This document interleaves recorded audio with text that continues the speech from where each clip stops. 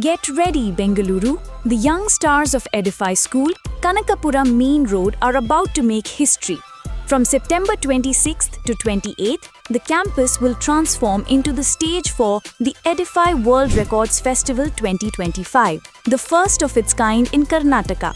With 770 students showcasing 2,100 STEAM projects under one roof, they're aiming for a world record, the most STEAM projects exhibited by a team in a single venue.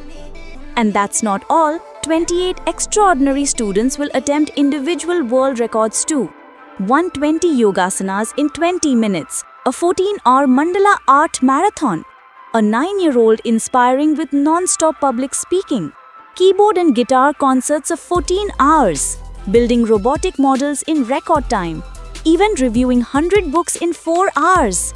Listen to our youngest participant. 4 plus 1, Five, 5 plus 2. seven, Uh, can you tell me some of the fruits? apple, orange, banana. Devaiah Munjandira Ganapathy, just in Pre-Mont I. With extraordinary memory and focus, he will recall and recite 500 early learning facts, aiming for a world record at such a tender age. From mathematics to music, from shlokas to science, these young achievers are proving that learning goes beyond classrooms.